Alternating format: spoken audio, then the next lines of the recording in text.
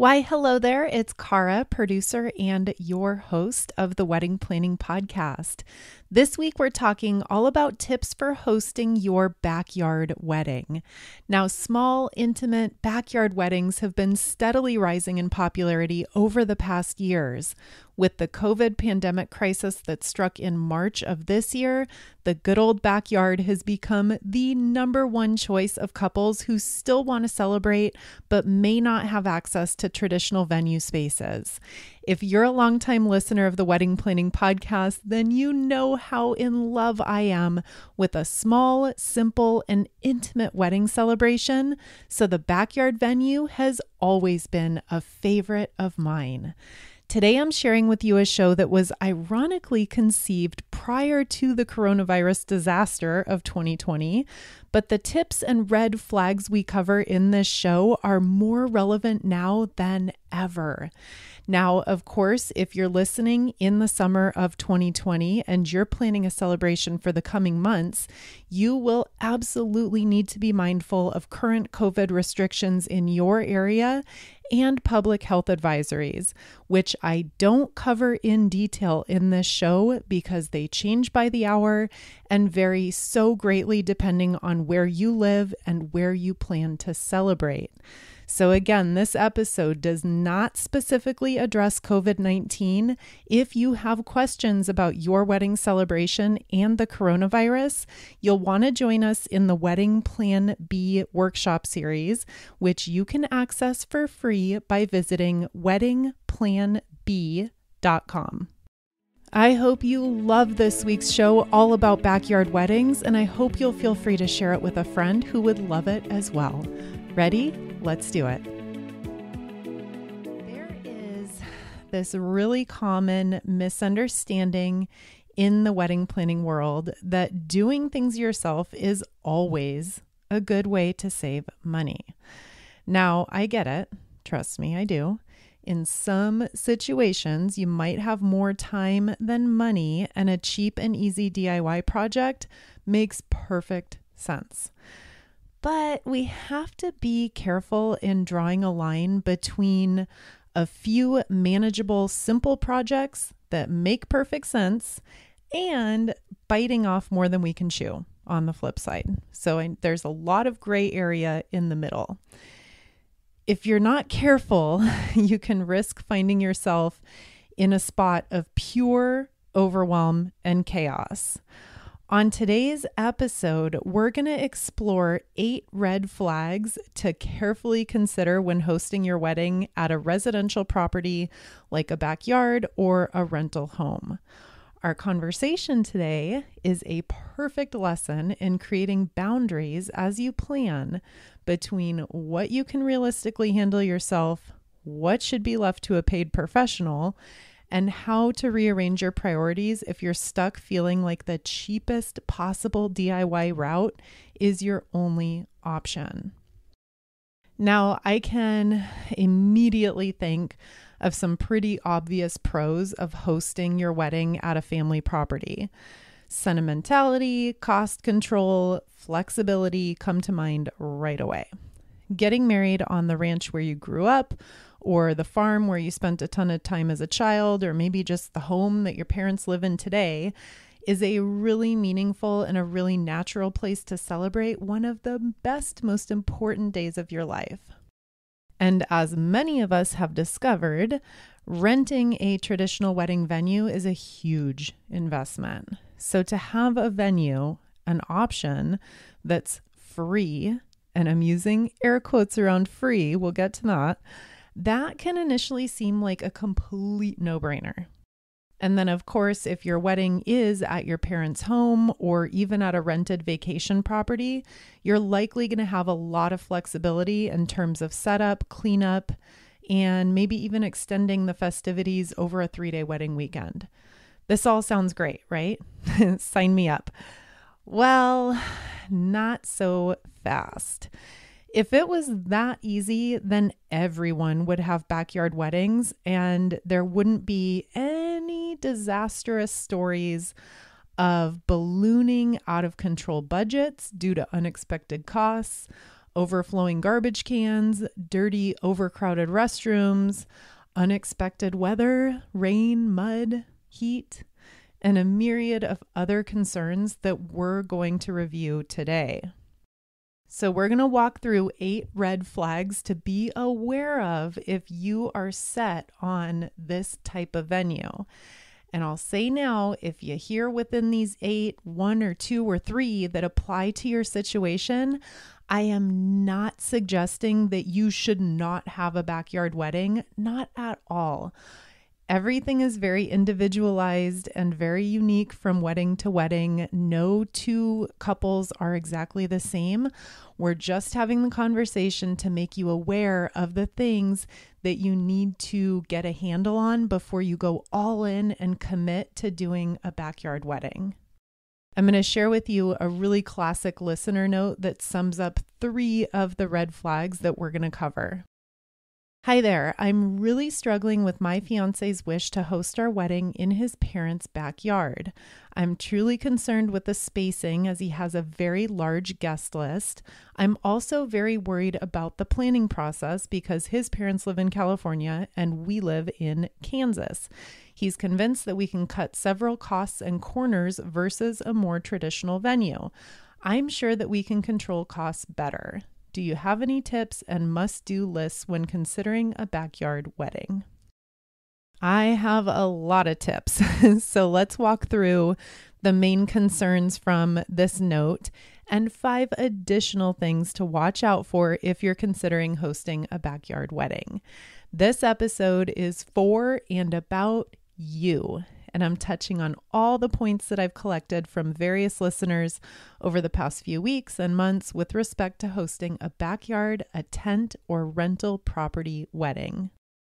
Okay, the first red flag here that we're going to talk about is that you are doing this primarily to save money.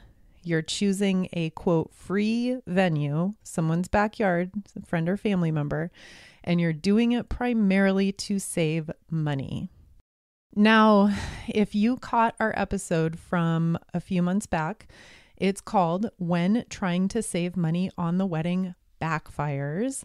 The date on that is October 19th, 2019, if you want to go back and take a listen. If you heard it, you know where I'm going. I'm going to make a really long story short by saying that doing it yourself is not always the cheapest and best way. And this could not be more true than in the case of a non traditional wedding venue where the heavy lifting and most of the planning is left up to you. Yes, don't get me wrong, there are a ton of opportunities to control the cost of food and drinks, and of course, the rental of the venue itself. If you're in full control of all this being set up at a home or in a backyard. On the contrary, there are a ton of extra considerations that you need to keep in mind, and those can all easily add up and exceed the cost of a reasonably priced venue.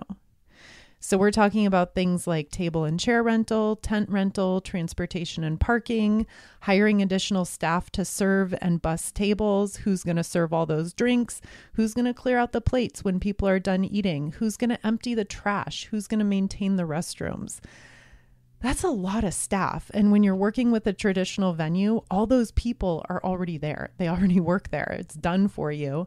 But when you're doing it in a backyard and you need to bring in all of that extra help, those are not jobs that you want your family and friends doing on your wedding day. So that's a huge consideration.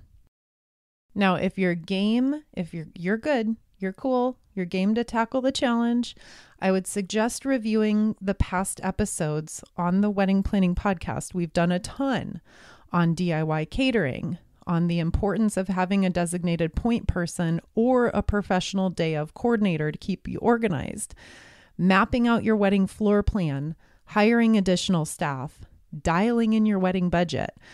I could go on and on. That's just to name a few. Go back in the feed and find some of the shows that are going to apply to you if you're going to host in a backyard and all a lot of that heavy lifting is going to fall onto you. So it's very important that you know what you're getting into here.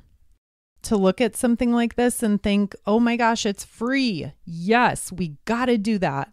That's just a recipe for lots of trouble down the road. All right, and moving on to our next red flag not having enough space. You absolutely have to have enough space to physically host all of your guests, or else this is going to be a total flop. Not only do crowded tables and chairs and restroom lines out the door to use two restrooms for 100 people, that makes for just a really uncomfortable and unenjoyable event. And that's not to mention with not having enough space for all of your guests. You could also be breaking laws and regulations about fire safety, noise violations, parking restrictions, with respect to the physical space itself, so like how are you going to fit 20 tables into the dimensions of the backyard? I'm not going to rattle off a bunch of measurements and dimensions. You can find all that information by searching Google. But to summarize this point, if you cannot be 100% certain that you have enough space to work with, then you either need to cut back your guest list or consider another plan. And next concern or backyard wedding red flag is long distance planning. You heard in this note that the couple is in Kansas and the wedding is in California. And I hear from a ton of couples who are planning weddings in another state, or in some cases, whoa, imagine this, even another country. And it presents a lot of challenges in terms of booking vendors, making decisions, setting up meetings. And I, I mean, literally everything. It just makes things a lot more difficult when you can't be there in person to do this stuff while you're in the same location. So, long distance planning is hard enough when you're using a more traditional all inclusive venue.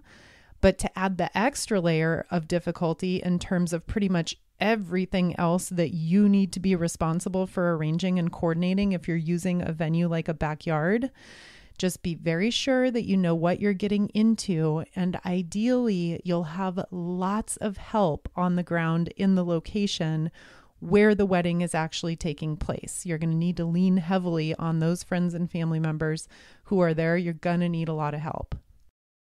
And then moving on to red flag number four this is rocky family relationships. Now, at this point, you've likely experienced at some point during your engagement that tensions can run really high when you combine wedding, family, money, divorce, strong opinions and personalities, new spouses, step parents, on and on and on. I mean, that happens in daily life, let alone throwing a wedding in there. It just complicates everything. If you find yourself in the midst of parents and or step parents or even other family members who just don't get along, be sensitive and really think about is this a good idea to host the entire wedding you're hosting at one very biased location. So to host it at your dad's house when your mom and dad can't stand each other and your mom and new stepmom can't stand each other and your stepdad and your dad, it's just having that all taking place at your dad's house can be a recipe for a lot of uncomfortable conversations and interactions. Defenses get high and personalities run really hot when all the wedding planning and all the prep is taking place at that non neutral location. So take stock of your family situation. And if tensions run high amongst people, then just proceed with caution and make sure that that's not going to be an issue, that it's happening. The whole wedding is going to be happening at that one place. Next thing to really think about is weather. Weather. So, sun, rain. This one's pretty self explanatory. Um, I think we can all agree that no one wants to be at a wedding outdoors when it's freezing cold or when it's 100 degrees in the shade or be huddled under umbrellas or a soggy tent in pouring rain. That just does not sound fun. Do not hope that the weather will work out on your wedding day. Hope is not a plan. This is a quote that I've heard a ton of times over the past week or so, and it just applies to so many things, especially in wedding planning. Hope is not a plan. You'll want to have a really solid backup game plan and some options lined up to keep your guests comfortable.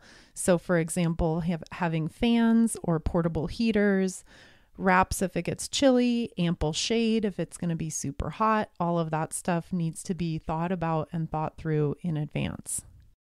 Coming up after a quick break, I have three more red flags to be on the lookout for and a handful of your backyard wedding questions. I'll be back in just a couple minutes. Did you know now you can have a photo booth for your wedding that doesn't break the bank? Booth by Mail offers a complete setup delivered straight to your door that allows you to have all the fun and memories of a photo booth at a fraction of the typical price. Booth by Mail photo booths contain everything you need to create memorable moments for your guests. You get a camera, printer, sequin backdrop, props, and a digital photo album, all for under $300. So much fun. Best of all, there are no time constraints. Your photo booth will arrive one to two days before your wedding, and you have unlimited use throughout the entire weekend. Use it for the rehearsal dinner, your wedding, and brunch. Booth by mail is available anywhere in the continental US. It's also a great option if your wedding is out of town. Just have it shipped to your hotel or your reception venue. Go to boothbymail.com slash wedding planning podcast for more details or follow Booth by Mail on Facebook and Instagram. And as a special offer to our listeners, enter the code WPP to receive a 10% discount on your order. That website again is boothbymail.com slash wedding planning podcast. Care of is a wellness brand that makes it easy to maintain your health goals with a customized vitamin plan that helps you feel your best today and supports you long term. Care of is focused on the quality, science, and research that goes into each of their products and recommendations and can make taking your vitamins and supporting your health goals attainable. I don't know about you, but for me, the vitamin aisle can be really confusing. It's so hard to know what you need and where to even start. With Care of, you simply take a short online quiz and answer some questions about your diet, health goals, and lifestyle. Care of will recommend a list of vitamins and supplements specifically for your health needs and goals. The quiz is so quick and easy, and I love how convenient the individual vitamin packets are. They're perfect for dropping in your purse on the go and for traveling. For 50% off your first Care of order, go to takecareof.com and enter code WEDDING50. Again, that's 50% off your first Care of order when you visit takecareof.com and enter code WEDDING50. Researching and planning an entire wedding in the midst of everything else going on in your life can be a really stressful time. And if you find your happiness is suffering, BetterHelp is here for you. BetterHelp will assess your individual needs and match you with your own licensed professional therapist. Send a message to your counselor anytime and receive a thoughtful, timely response. You can even schedule weekly video or phone sessions, all without ever having to sit in an uncomfortable waiting room. Licensed professional counselors specialize in depression, stress, anxiety, relationships, anger, family conflicts, and more. BetterHelp is committed to partnering you with your perfect therapeutic match, so they make it easy and free to change counselors if needed. In fact, so many people have been using BetterHelp that they are recruiting counselors in all 50 states. I want you to start living a happier life today. As a listener, you'll get 10% off your first month by visiting betterhelp.com slash wedding. Join over 1 million people taking charge of their mental health. Again, that's betterhelp, H-E-L-P dot com slash wedding. Okay, we're back with three more backyard wedding red flags. Next up, we have residential restrictions. This, my friend, is another great example of that fun little quote Hope is not a plan. It is critical that you understand any residential restrictions that might be in play with respect to noise, parking, group size, or any community resources that you're using. Call the local police department and do your due diligence to understand the rules. Our wedding got busted up by the cops. That's probably not a story that you would be proud to tell your grandchildren 50 years from now. Very, very important to be proactive and get all the information on legal and residential restrictions. And next up, we have lack of time and lack of excitement. I've combined those two into one point. Look, some of us are planners and project managers by nature, or maybe even by professional trade. It is an amazing skill to have. However, the task of coordinating a million moving parts when you're finishing a master's degree, you're living away from your fiance, you're working two jobs, and kicker, you hate paying attention to details, you are not detail oriented, and you really don't like planning things. This might not be the best wedding setup for you. So, know yourself and do not be afraid to admit that, hey, you know what? This just does not sound like very much fun. And I really don't have the time or energy to sign up for that much work. There's nothing wrong with that. There is no shame in that. You might have to reprioritize things by scaling back on your guest list or cutting back on other details to find a more all inclusive venue option that you can afford. But please, if there's a little voice in your head saying, this just sounds like it would be really annoying and miserable for the next 12 months of my life. Listen to that voice. You will be so grateful that you did. And the last point I saved the most important for last, and it ties back to our very first point about saving money. So, this one, this is a huge red flag is failure to plan and budget for unexpected extra costs. If a backyard venue is something that you're interested in, then I would definitely recommend sitting down together with your fiance and you're going to need to do some very careful research on a lot of things what you're going to need to look at is your individual situation. So we're talking about the property size. What are you going to need to rent in terms of tables and chairs and all the extras, place settings, dishes, decorations? How many guests are you going to have? What type of food service? How much is catering going to cost? that's not all. I mean, any important details that are going to apply to your situation. If you're going to need to hire valet people to park cars at another parking lot because there's not parking at that location, you absolutely have to make a detailed running list with specific price quotes for everything that I just listed and more. Anything that applies, you need to find out how much it's going to cost. You cannot make a guesstimate. You can't say, I think it might cost a $1,000 to rent 20 tables and chairs and place settings. No, no, no. You need hard, concrete numbers. After you've made that list for your backyard venue, next, I want you, I encourage you, please call around and research some potential venues in your area and do a price comparison. This way, you're looking at apples to apples. Comparing a quote free backyard wedding venue to a all-inclusive wedding venue that costs $2,000, but hey, the backyard is free. No, it's not. There are a lot of other costs that are going to creep up on you. And the failure to plan and budget for those extra costs can make for an absolute implosion of a disaster in terms of how much this is going to cost you. So, again, we've come full circle back around to our first point.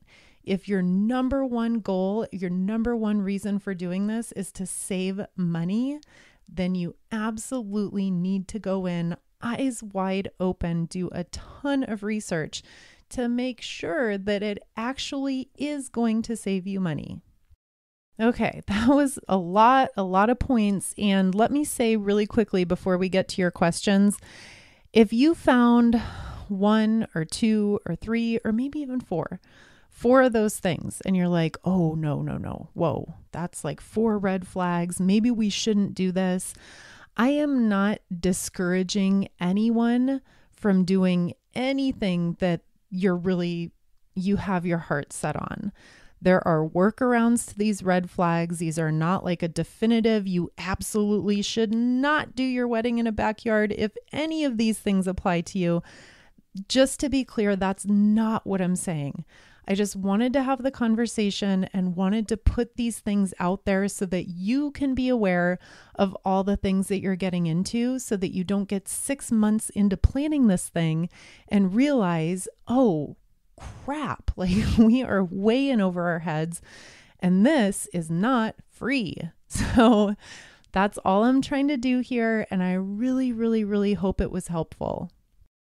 And with that, let's get into your questions. First one Someone in my area is reselling tablecloths in a color and size that I want, and they would be cheaper than renting. I've heard mixed reviews on trying to DIY tablecloths. Do you have any experience or suggestions on it? Seems like a pain to make sure there are no wrinkles the day of. I have a ton of experience with DIY tablecloths. I did it. I thought it was pretty seamless and it worked out really, really well because we bought them online. We used them for our wedding and then we resold them I think actually a church bought them from us, a church in the area, and they still use them to this day for events. So it was a win win win. Everyone's a winner. It was a great solution for us. So, a couple of notes on doing this. When you order them online, obviously they're going to get shipped to you all crumpled up into in little plastic bags. So you're going to need to make sure that you have someone designated. I don't know if that's you. I kind of hope not. If you can find someone else who's willing to take those tablecloths out and either iron or steam them. This is an extra step. This is you're going to likely save a lot of money, but you need to be aware that it's going to require a little bit of muscle work in the day day or two leading up to the wedding to make sure that they're just not all crumpled up and yucky. Now, uh, I'm a fan of handheld steamers. I use them all the time on clothes.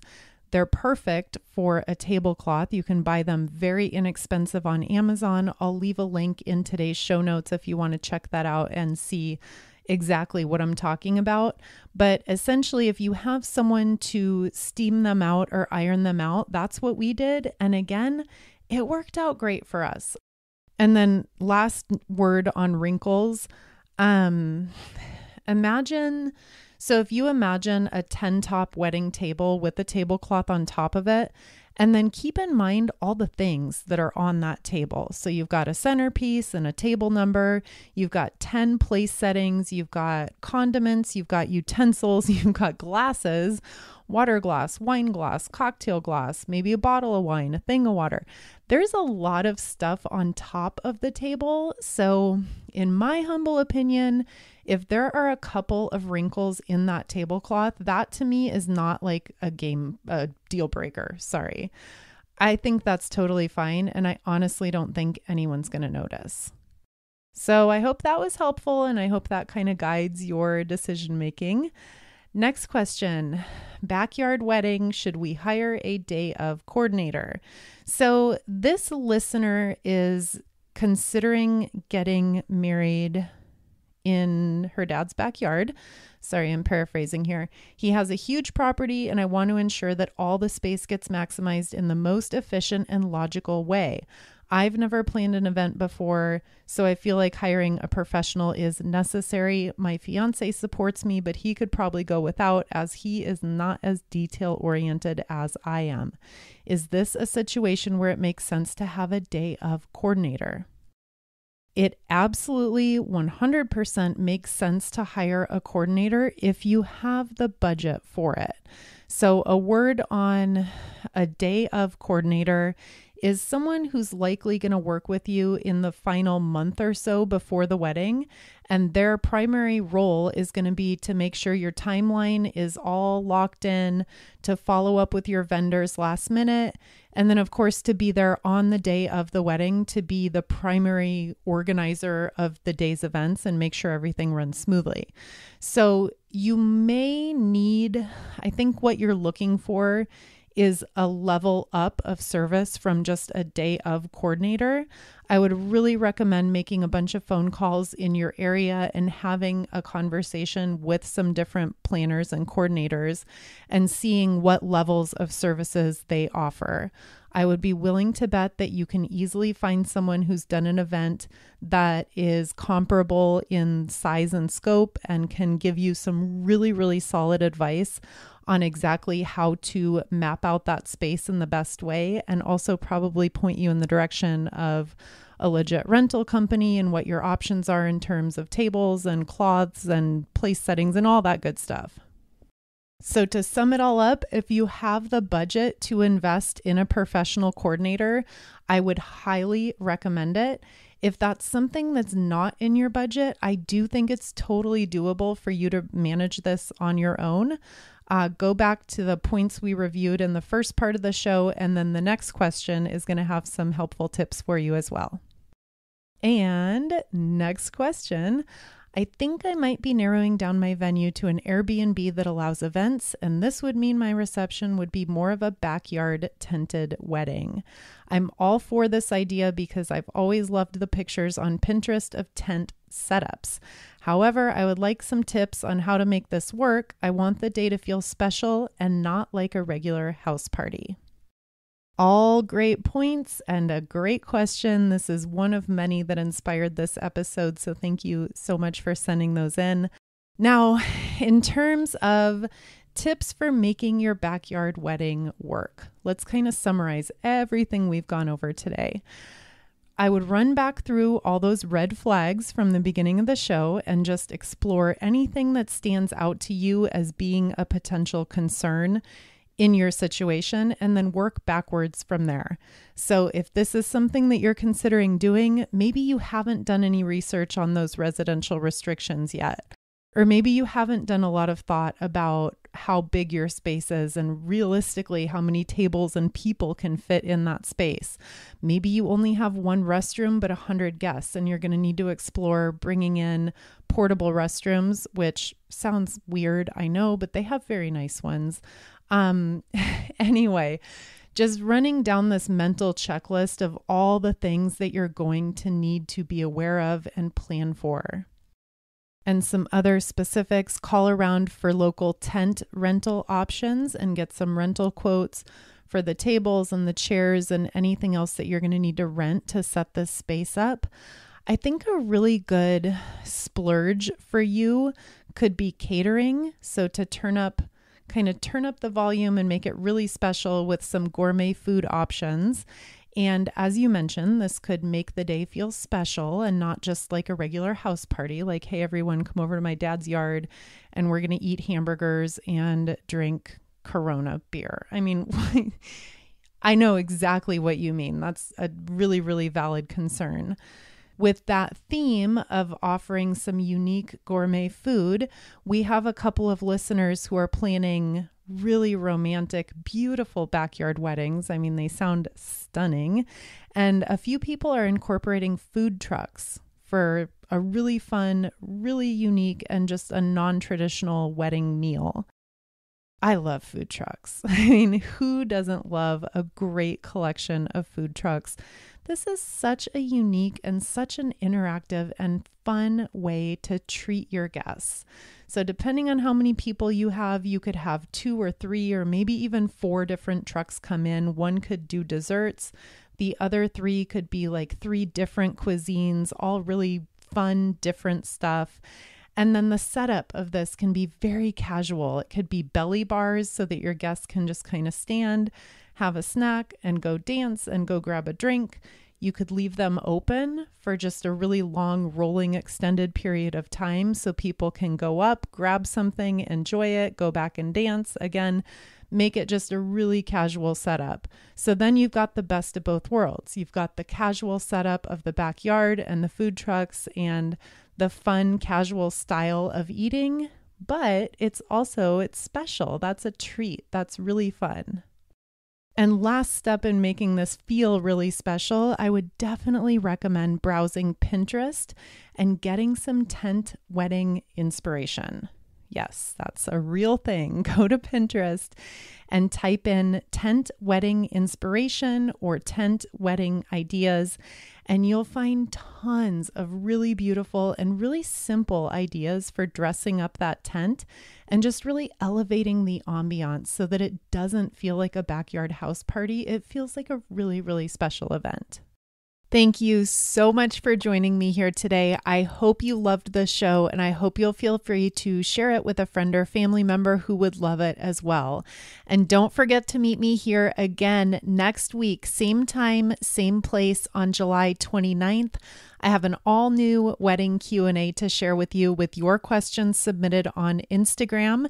Get those in by visiting me at Wedding Planning Podcast. We'll talk soon. Thank you so much for tuning in to this episode of the Wedding Planning Podcast. For a list of any links and resources called out in today's show, take a peek at the show notes in your podcast player whenever you have a hands free moment.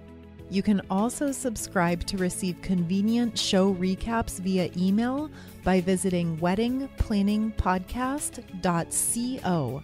While you're there, you can browse a library of all past episodes and view special offers from our sponsors. That website again is weddingplanningpodcast.co. Thank you so much for including me and the Wedding Planning Podcast in your wedding plans. And I'll talk to you again next week, same time, same place.